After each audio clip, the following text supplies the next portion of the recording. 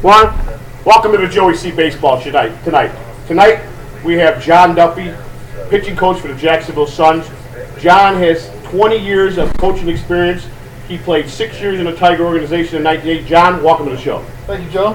Pleasure to be here. John, uh, tell us about John Duffy. Where does John Duffy come from?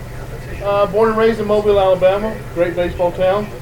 A lot of Hall of Famers. Hank Aaron, Willie McCovey, uh, Satchel Paige. Uh, went to McGill-Toolen High School four years. Played four years at South Alabama for Eddie Stanky. Uh, You and your wife Angela still reside in Alabama. yes, uh, we live across the bay now. My parents still live in Mobile, about five minutes from Hank Aaron Stadium. My dad works as an usher at the stadium. He's retired now. Uh, he loves, loves baseball as well. Uh, my mom's dad was a catcher back in the 20s with played against the likes of people like Babe Ruth, played 13 years in the minor leagues. Uh, and he's the one who got me started playing baseball when I was four years old. Okay, you started playing at four years old. Did you did you sign out of high school or did you sign out of college? I signed as a free agent out of college. I was uh, 12 and 2 my senior year at South Alabama. Didn't get drafted. Went to uh, the NBC tournament in Wichita, Kansas. Pitched 15 innings in three days and got signed at 3 o'clock in the morning by a Tiger Scout. Uh, funny story about that. Calls me up on the phone. I thought it was somebody playing playing prank on me. Obviously, yeah, three o'clock in the morning. And uh, I said, who the hell is this playing prank on me? And I hung the phone up. Phone rang right back. This so-and-so from the Tigers don't hang up the phone. I want you to come down to my room and we're going to talk about having a, want to sign you to a contract. So I did, and the rest was history. That was 1983. 1983. Now you played. You spent six seasons in the Tiger organization, and uh, at the various levels. What level did you wind up with before you retired? Uh, I got to AAA. Uh, my first year, I didn't play because I was signed late. And I went to spring training the next year. Made the Florida State League team out of spring training. Had some shoulder issues. Went home for a couple weeks. Went to rookie ball. Then went to rookie ball Double A back to the Florida State League. And then three years in Double A. Three quarters of a year in Triple A. Back to Double A. And then got released. Was at the end of the uh, was Kevin Bradshaw and Arnie Bell any of your teammates back then? Kevin Bradshaw was, yes. Uh, Dwayne Hosey, the coach for the uh, Huntsville Stars here, was uh, a year behind me or so. Uh, but Bradshaw was a good, a good teammate. Yeah, great teammate. Uh, I believe he's the field coordinator now for Yes, he Detroit is, Tigers. So after you finally realize that, uh, and we all, we all, it all comes a time in a player's career, whether he's a hitter or a pitcher, you know, good Lord comes down and says it's time to retire. Well, they retire you sometimes. At, at some point, you get retired. After You're told got- at some after point. I, after I was finished playing uh, with Detroit, I played a year with Kansas City in Double A. They tried to make me a starter. I think I had 13 starts. I was 0 1 with 12 no decisions. And I've been a reliever most of my career in the minor league, so I got to five innings and then I'd get wore out. Right. Plus the shoulder issues Sure. kept on and on, and I pitched all those years with it. The next year, I went around to like five different camps, spring training. I was 28, getting ready to turn 29 years old. Uh, couldn't find a job, so I went home to the real world, got a real job. Well, I got a phone call from the Yankees. Uh, That's right. You were a bullpen I was a, a batting practice pitcher for the Yankees in 1990 for a year in New York, right? in? New York. Uh, traveled around with the team all the time, and I had a job during the game. How was that working for that team? Uh, George was a different man. He was uh, he demanded excellence. Uh, that year they finished dead last. They had a lot of injuries. Uh, that was the year Manley had a hurt back, and that was the year that uh, fast enough Cincinnati ended up beating the Bash Brothers and with Lou Piniella in the World Series. George, if you were loyal to George and you did the job for him, he took care of you, did he? Yes, he did. From what I understand, I was there one year. Uh, had a little misunderstanding with the front office because of one of the players, and didn't get my contract renewed. Uh, so the next year, I was out of baseball, and then I started coaching, helping my high school team out for a couple of years, and then I got back in with the Cubs for two years. Uh, then I was a replacement player in the strike in 94, was 95? 94 uh, with Seattle. But the reason I went to Seattle was to get a pitching coach job Right, with right. them, and then the strike went on so long. You wound up becoming back to pitching. Right, and they had to you know, fill the position. So I went to an independent team and ended up folding because of finances. Uh, a couple years in independent ball, then I got hired by Tampa Bay. Spent three years in Tampa Bay. Got let go the day before 9/11. Uh, a year off. Another year in independent ball in Brockton, Massachusetts, in the Northeast League. Won a championship there, and then I got hired by the Marlins the following year after they won the World Series, and Which was, my ninth year with the Marlins, 2004. You know, I met you last year, and I've become pretty good friends with you. And the one reason I wanted to have you on the show is because I've never seen a guy with compassion and the love for the job you do currently, for the, for the compassion you have for your pitchers. Let's let's talk about where you're at right now, and, and, and what do you want from your pitchers each year? Well, first of all, when I was playing with Detroit, I didn't have a pitching coach. We had one pitching coach for six teams. So you saw your pitching coach coordinator maybe two times a year, Right. not very many days. Right. Uh, John Smoltz was my roommate, and we were. He was 19, I was 25, and I remember the day he got traded from Detroit. He was born and raised in Detroit. You know that might go down as Detroit's worst trade in history. Maybe. Well, you know, at the time, Doyle Alexander went 9 0 down the stretch. And then the Tigers got beat in the playoffs by Minnesota that year. But that's really was a turning point for me, helping him out, helping other guys out, because I'd played for a major league manager for four years, and they said if you played for him four years, it's like playing eight years in the minor league. So I was ahead of the curve as far as that went with guys. So that that's really when I decided I wanted to become a coach. You, you, you know, I've watched you, and last year you had a lot, a lot of close games. Uh, last year you had a lot of run-run games, I think. and the compassion I, I, sh- I see you have when you lose by a one-run game. It, I watch you just you get so frustrated in certain areas of the game.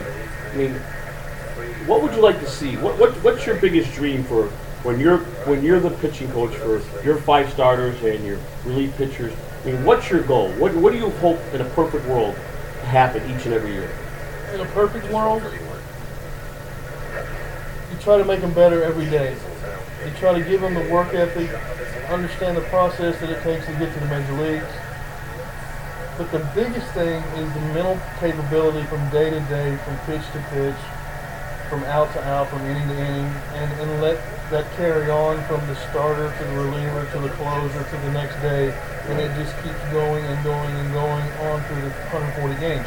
And at the end of the year, if you've done everything that you asked them to do and they've responded and they've understood the process, then you have an opportunity to be in the playoffs and you have an opportunity to win a championship. Right. And, and speaking of championships, you were the pitching coach for Jacksonville, and you guys won back-to-back championships, 09 and 2010, correct? Correct. I was here in 10. Reid Cornelius, who's the uh, bullpen coach for the Marlins, was here in 09. Uh, he took half of my pitchers from the A-ball that year to help him win the championship up here, which you know that's the way that's the way we roll, and that's the way we work. That's player development. That's the way it's supposed to be. And uh, I mean, how you many never get any more satisfaction out of winning the championship, and seeing those guys progress, and then seeing them go to the major leagues and be successful. And that's where the gratification comes in because, you know, as coaches, we don't make a lot of money in the minor Right, leagues. Uh, and it's a grind. I mean, I've been 30 years in this game, 20 years as a coach, 20 years riding a bus, Bus. day and night, uh, you know, six months out of the year, and, and sometimes it's hard and you miss your family, you don't get to see your family a lot, but that's the way it is, and that's I've, I've been in baseball for You're, you're one of the first guys in the ballpark and one of the last to leave every day. Just about every day. I try to prepare myself for the next day, the night before, when I leave here. Last year, you, you had a kid named Brad Hand. How was it for you today that he went up and you actually got to sit there and watch him pitch in the league?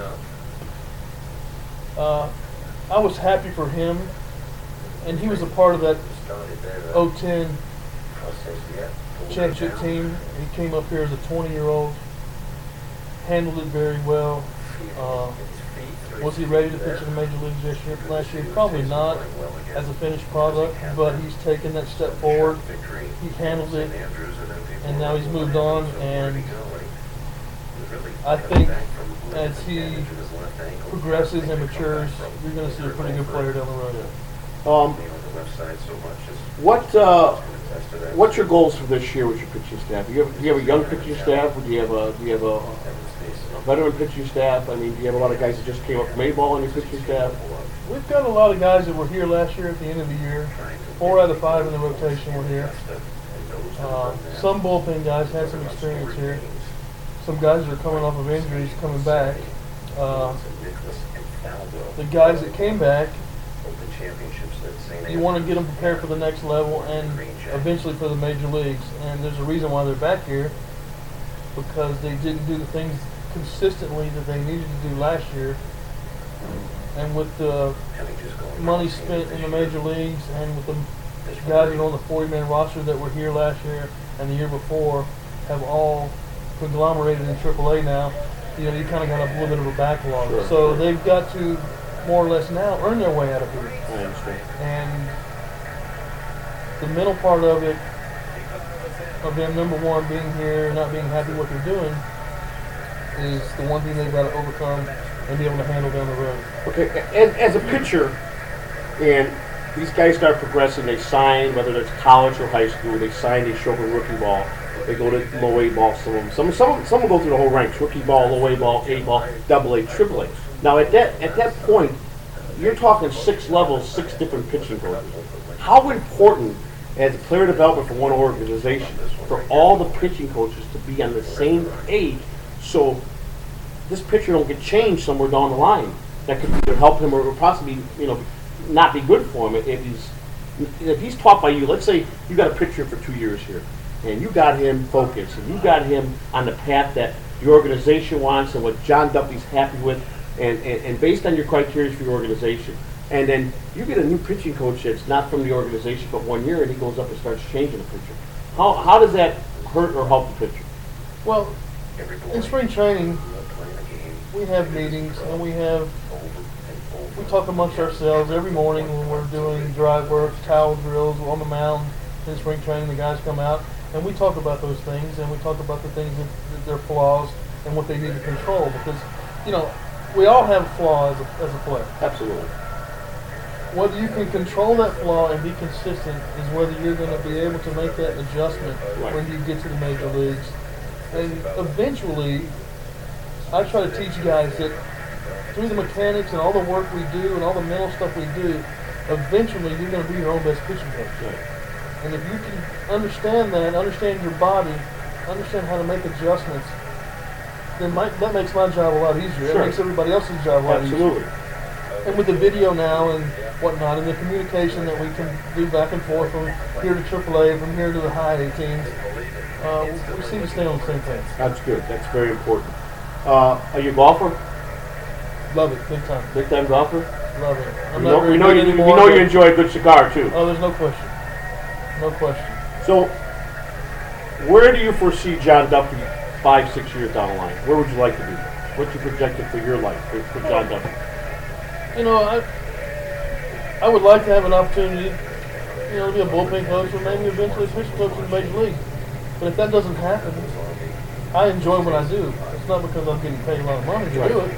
I just enjoy the game of baseball. Right. I've been in baseball all my life. Right. It's in my blood, uh, and I will continue to do this as long as I'm able to do it. At some capacity, whether it be here, whether it be somewhere else, whether it be in the major leagues, whether it be in the minor leagues. Right. It's not going to change Well, how I I mean, go about my it- approach to the it- game. You know, my philosophy is, you know, and, and, and myself working in the minor leagues as many years as I've had, and to watch the grind every day for coaches and players. Obviously, you have to love what you do. I mean, some coaches, there's some coaches I talk to that can care less ever coach or manage, but they like teaching. Oh yeah. They like to develop players.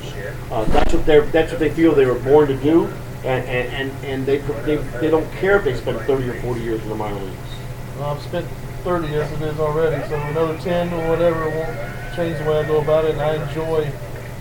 I just want to see the kids have the opportunities that I didn't get as a minor leaguer myself, coming through the ranks, and I had a pitching coach, maybe things would have been different, maybe they wouldn't have. But I vowed when I when I started coaching that I would try to give the guys my experience and the experience I've gained over the years through the people that I was around in the game of baseball to try to give them every opportunity to achieve their dreams. That's awesome.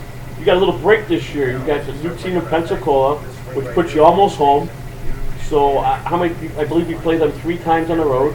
Three times there, we go to Mobile twice, which is my hometown, so that's Pensacola's 40 minutes from Mobile. So you're going to spend about So- 30 days of this season home.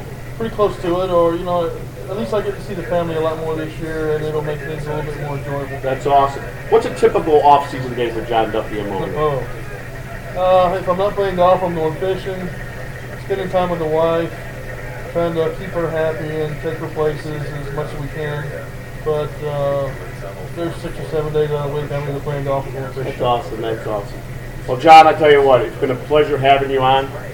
You're an, you're an awesome guy. The time that I've got to know you the last two years, um, I'm glad to call you my friend. We hope to have you in the future on the show. Ladies and gentlemen, John Duffy, pitching coach, Jacksonville Suns. This is the Joey C. Baseball Show. Tomorrow we have the legendary Andy Barkett, who's one of my dear, dear friends and is the manager of Jacksonville Suns on the show tomorrow. As we promised, we're going to continue to bring you mounds and mounds of great guests, great baseball people. So stay tuned to the Joey C. Baseball Show. Till then, thank you. Have a great night. Thanks, Joe. Yeah, awesome.